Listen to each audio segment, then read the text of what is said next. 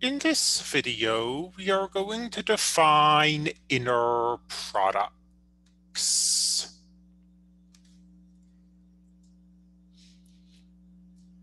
So say you've got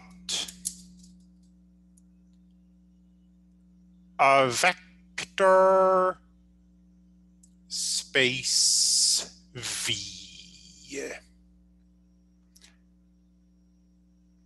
An inner product is a function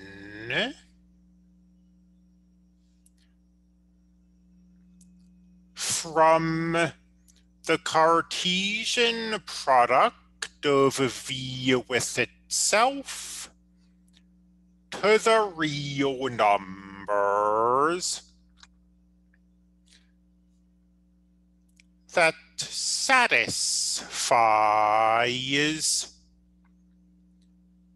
certain conditions. The inner product is not written using the standard function notation.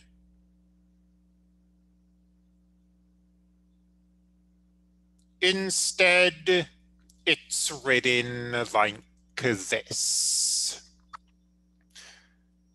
And the key thing to realize about the conditions I'm about to put down are that they're conditions satisfied by the dot product.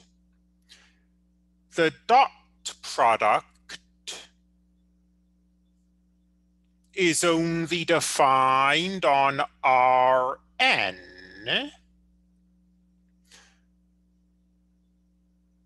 But it's a very powerful tool that we want to be able to use in other settings. So we take the things, the properties that the dot product has, and turn them into a definition. The inner product of U and V has to equal the inner product of V and U.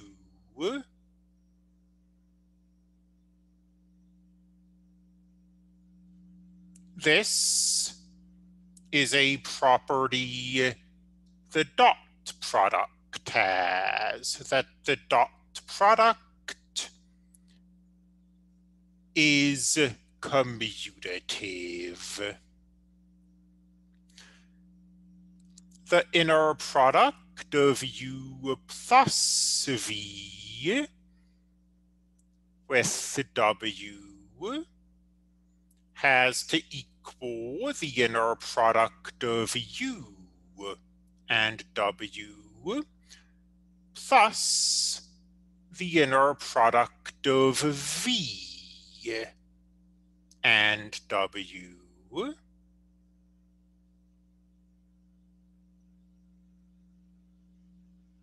The dot product of u plus v with w is the sum of the dot products. So once again, this is just a property of dot products being turned into a definition. The inner product of a scalar u and a vector scalar c and a vector u with a vector v is the scalar c times the inner product of u and v.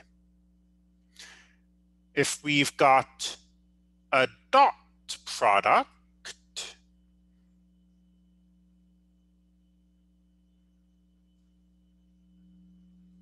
And we've got this scalar floating around. That is the scalar times the dot product.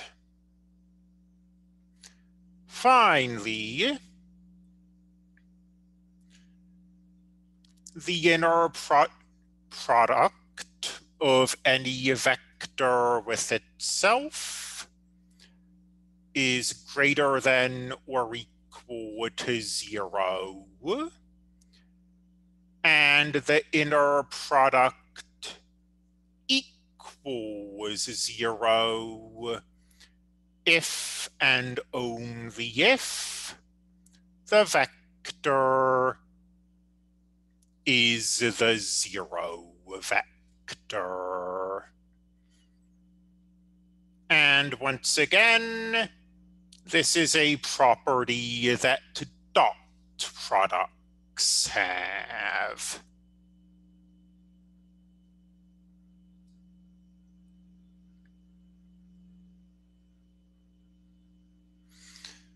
So inner products are a generalization of dot products.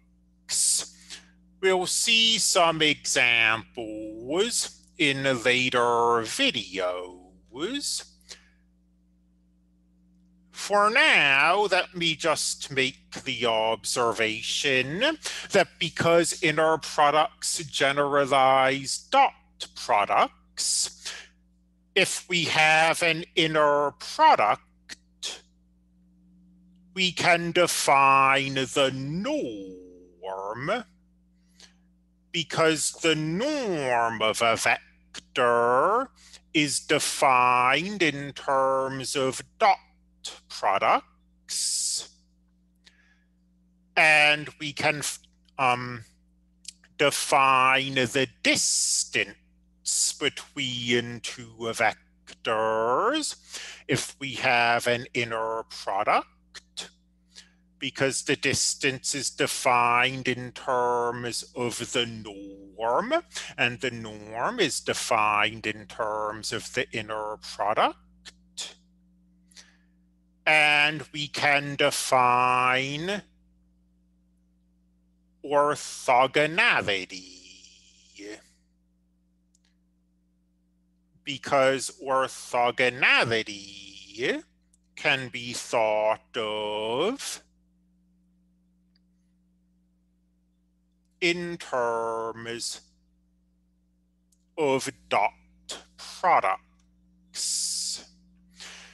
So for example, in a later video, we are going to define an inner product on the space of continuous functions.